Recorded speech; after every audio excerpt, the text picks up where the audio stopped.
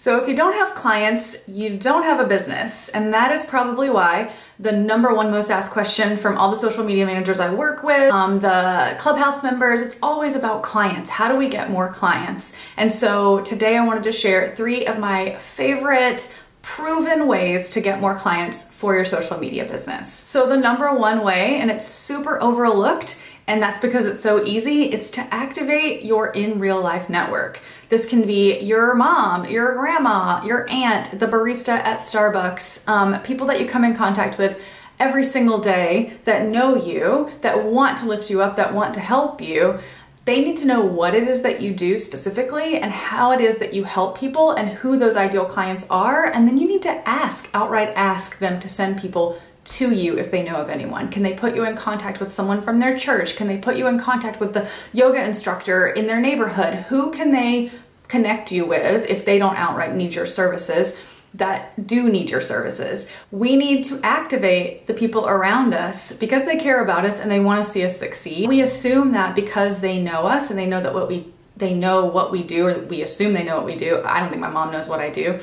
That they're going to go out and like make that connection and send referrals your way, but many people that I talk to have never even asked the people closest to them, their friends and family members, to send ideal clients to them if they know of anyone. Once you put that little nugget in someone's head, it's way more likely that they're gonna come in contact with someone while they're getting their hair done and say, oh my gosh, my niece does that. I would love to put you in contact with her. Or, oh my gosh, that's something that, you know, my sister does. She was just saying how she's got open openings on her client roster. So I think we overlook it because it is so simple, but I think some of the very best referrals come from the people and through the people that we know and that know us best. Now, the number two way is sort of similar because it's also about your network, um, and that is activating your online network. So different than the people that you actually know in real life or that you're coming in contact with all of the time. Um, these are people that you may not even really know in real life, but you're connected with. You're in Facebook groups with them, you're in engagement groups, or you're chatting with them on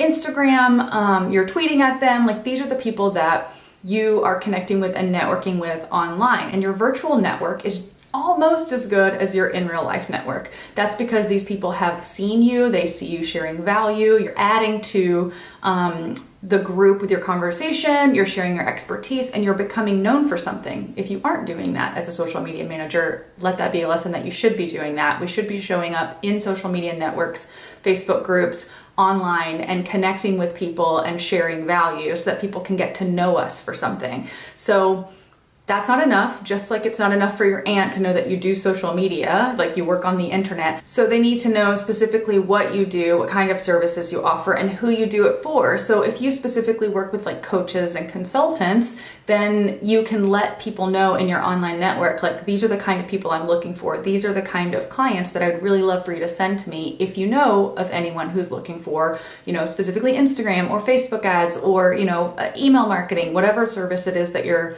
offering, let them know. That way, you come top of mind. You become the the thing that they have to share when someone asks them if they know anyone that does this. So essentially, what you can do, this is a little bonus tip for both activating your in real life network that you know, your real community, your family and friends, and activating your online network that you maybe don't know but you are connected with on social media and just online.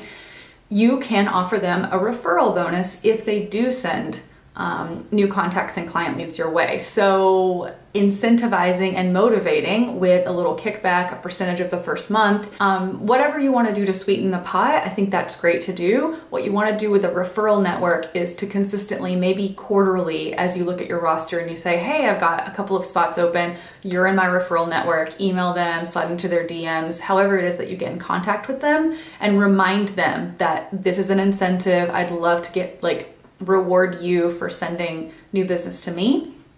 And that's all you need to do, just on a consistent basis. Add people to that network. Say, I would love to share, if you're looking for new gigs, I would love to put you on my list of referred copywriters, you know, ad strategists, um, you know, photographers, content creators, graphic designers, web designers, developers. You can connect with people who are doing the same service as you. I mean, that's what the entire social media CEO Clubhouse is about. I mean, we share leads. There's not, not everyone is an ideal client for every social media service provider every social media service provider might eventually get to the place where their roster is full. They have plenty of work so they can hand work off to other trusted resources. So it doesn't just need to be people who aren't doing social media. You can connect and um, refer business to other social media managers as well if a client lead comes across your email that's not maybe ideal. But all of this boils down to the easiest, best way to get new client leads is through a network, whether that be in real life or online. And the reason for that is simple. It's because we love trusted resources. We want to read the reviews. We want to hear from someone that we actually know and like and trust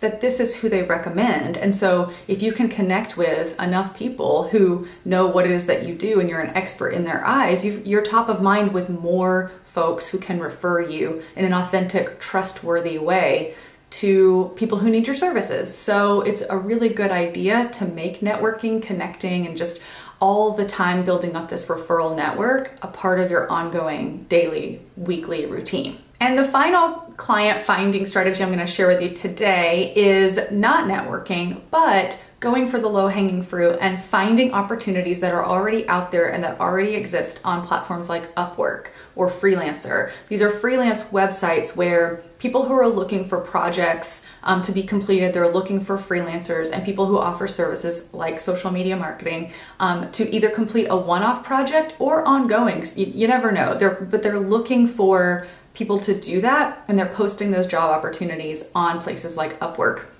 Now, Upwork is one of my favorites just because it's one of the first platforms that I got on when I first started off as a freelancer and I set up my profile. So you want a profile set up 100%. And there are like so many opportunities on there for people offering social media services. Now, I found one of my very best clients on Upwork or through Upwork. So I, it definitely can work. I know that um, it might not feel as like authentic or it might feel like you're just sort of like throwing your resume out um, into a billion different directions hoping somebody will respond. But i promise you that the real businesses with real budgets are out there and they're using platforms like upwork to try to connect with freelancers. They're using upwork because it's a trusted sort of platform that's going to protect them if the job's not completed correctly, if there's an issue, and it protects you as a freelancer too to make sure that you're getting paid and that you're connecting with people who aren't going to bail on you. Yes, you do have to pay a little bit of a fee to do the work through that platform, but some people just really like it because that's where people looking for the thing that you're doing are already going to find people to do it.